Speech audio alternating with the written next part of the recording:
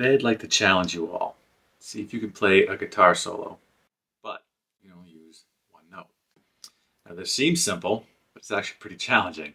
Because when you don't have uh, any fast licks that you can play, or you don't have any uh, flashy technique that you can use, uh, and all you're left with is just the bare knuckles of one note to play, uh, it's, it's pretty difficult.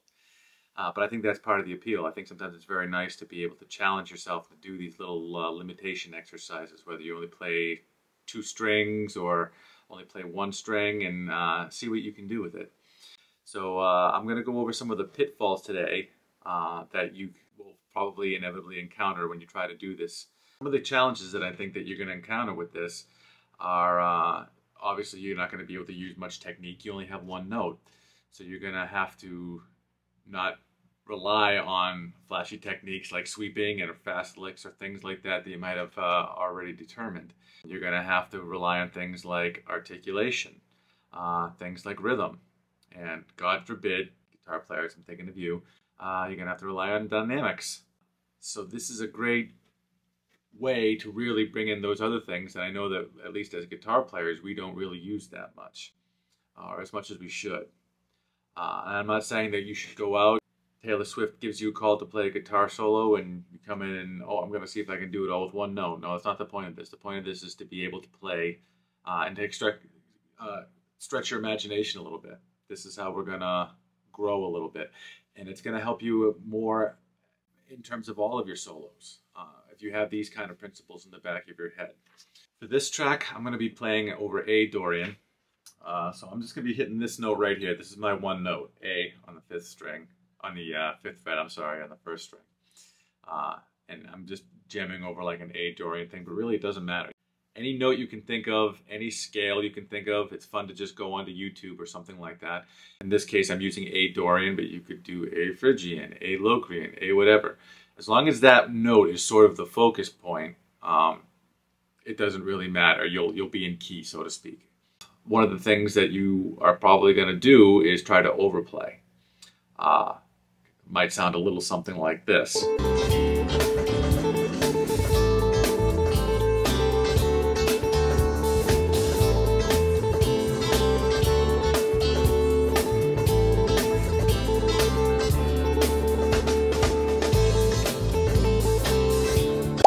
Okay, so how can we fix that? Um, well, obviously, try to pause a little bit. Lay back a little bit when you're soloing. Uh, only play a couple of notes and then stop. Let the listener actually listen and hear what you play and digest it, and then give them a little bit more. Uh, maybe a little bit more like this.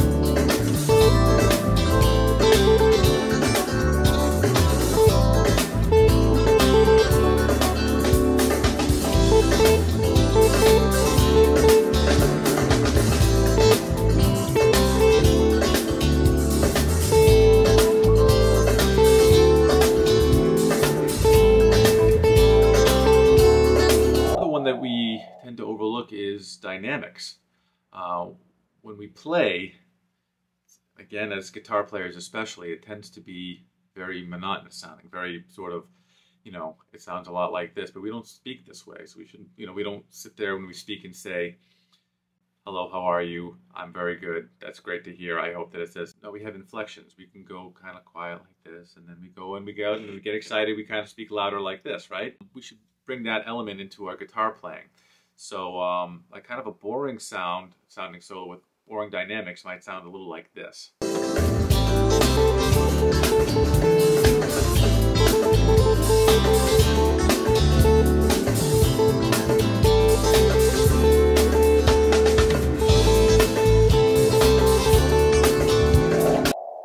Alright, so that probably didn't sound great because it does sound very much monotonous, and we don't speak that way.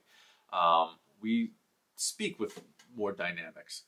So I think it's good to play with a little bit more dynamics and, and to have those louds and softs and those crescendos and things like that. Maybe something a little bit more like this.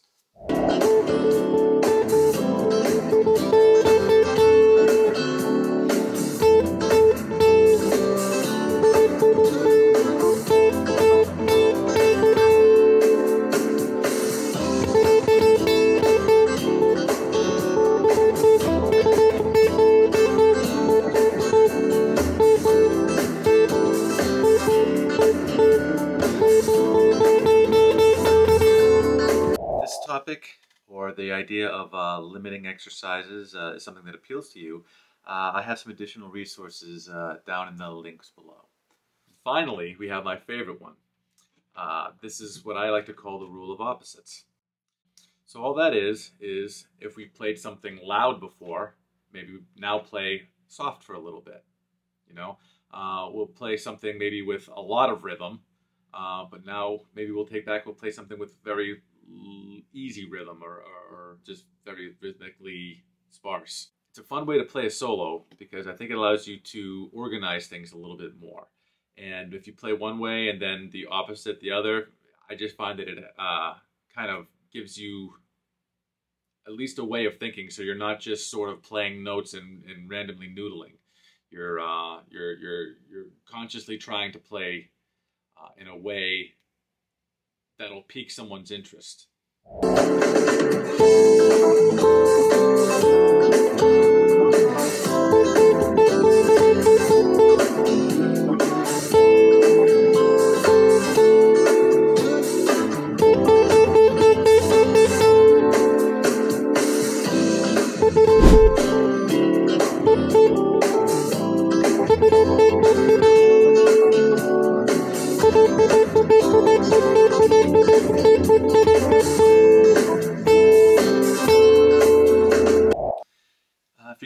out of this, please consider hitting the like and subscribe button down below. Thanks again for checking out this lesson, and uh, I'll see you next time.